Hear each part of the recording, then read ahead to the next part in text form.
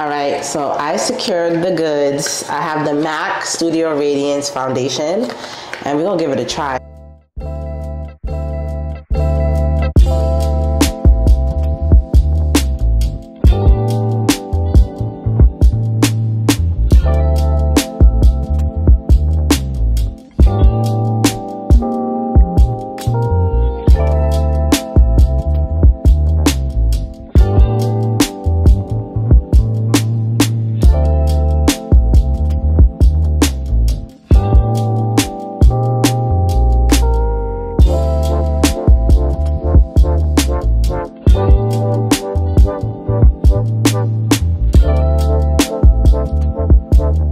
Thank you.